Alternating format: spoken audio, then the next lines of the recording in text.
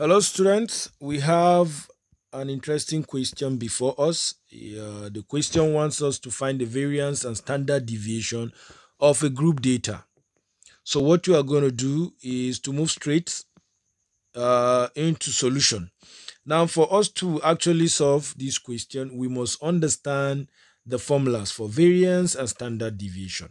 Now, check it out. By the right hand corner, you see that variance is summation f into x minus x bar all squared all over summation f and uh, standard deviation sd is actually square root of variance hence sd is going to be square root of summation fx uh, f into x minus x bar all squared all over summation f. So let's move quickly to actually solve this question. So the first thing we need to get is our class interval okay? We've mentioned class interval in previous videos. So we have here 21 to 30 31 to 40 41 to 50 51 to 60 then 61 to 70 and 71 to 80 we have our frequency okay? Frequencies we have 2 we have 10 uh 12 15 8 and 3 now listen, you if you check from the formula, we have x bar, and x bar is mean. Good. So it therefore means that we have to find our mean, and mean is actually summation fx all over summation f. So it therefore means that we need our x, then we need our fx, right? Like in previous video i showed you how to get your x actually is going to be the average of the upper and the lower class interval. So you say 21 plus 30 divided by 2 if you do it here is going to be 25.5 then this is 35.5 this is 45.5 this is 55.5 this is 65.5 this is 75.5 in case you are still wondering let me explain more. X to get x in this case now in the first one is going to be 21 plus 30 all over 2 that is upper uh, and lower class interval divided by 2 and that is how you're going to get 51 over 2 which is 25.5 all right? In case you do not get or you do not follow. So when you multiply f times uh, x this is what you are going to have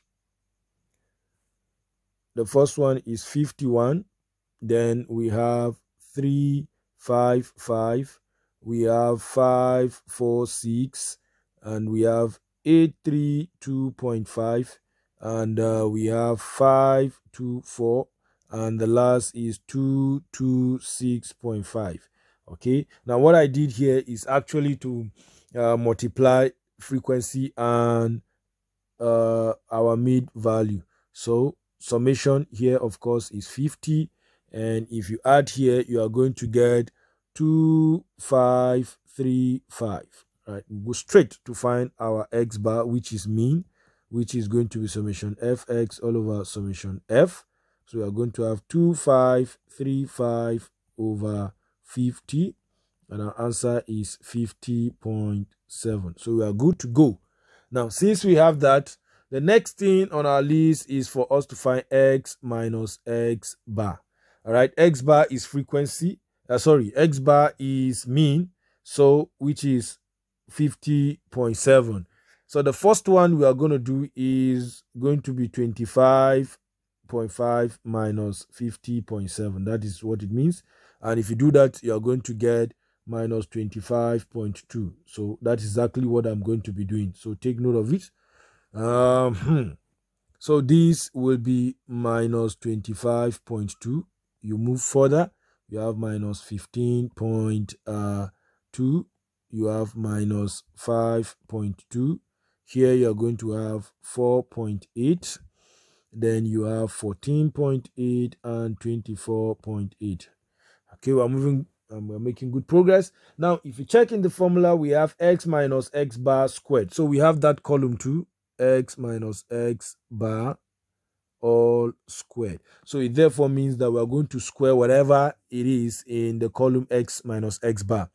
Now squaring it, here you are going to get 60 63.04 uh-huh this is 231.04 this is 27.04 and uh, this is 23.04 and um, this is going to be 219.04 uh, lastly we have 615.04 now you have to be very good with your calculators okay? For you to be able to pull this uh, off all right so the next thing is f into x minus x bar all squared, meaning everything on the frequency column multiplied by the column x minus x bar all squared.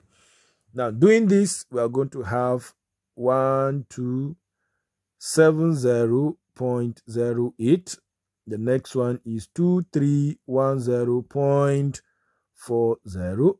Then followed by uh 324.48 and followed by 345.60 then we have 8 times 219.04 uh it will be 1752.32 good.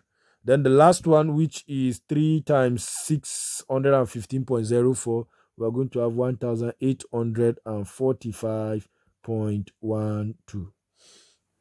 Now, since we have this, the next thing to do is to get the summation of what we actually want. Aha. Now, we need this. Very important. So, you pick your calculators, you work it out. Now, having this, you are going to have 7,000 848 so we are good to go. So let's move quickly. Let's find our variance. So the first we have our variance. We said is summation f into x minus x bar all squared all over summation f. Now if you check it this particular column is column for uh, summation f into x minus x bar all squared. All right. And of course, this is summation f. So automatically, it means this is going to be 7, 8, 4, 8 uh, all over 50. All right. And this is what we are going to get. We are going to get 156.97 so approximately we have 157 very good. So we now got in our variance. Then we move quickly to find our standard deviation sd our standard deviation is actually the square root of um, the variance. And the variance there is 156.97 you are going to use the raw value. Don't use the approximated value okay? Now the square root of that is going to be 12.53 right? Approximately to one decimal place that will be uh, 12.5 so this is how to find standard deviation. Uh, keep watching and make sure you subscribe. Thank you so much for being with me.